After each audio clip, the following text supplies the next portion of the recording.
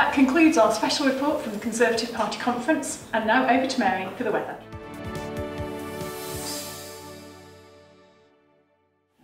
This afternoon in Aberystwyth, we're going to be having an icy storm that comes down from the top. But underneath, coming up from Pembrokeshire, there will be actually sunshine coming from the ground, and that will come up from the ground, meeting the ice coming down from the top, and we'll have a lovely swirling effect. Then we sweep up all the citizens and push them out to sea, and they'll float over to Ireland, where we have beautiful sunny beaches and um, green mint drinks. Welcome everyone. Thanks Mary, another great weekend.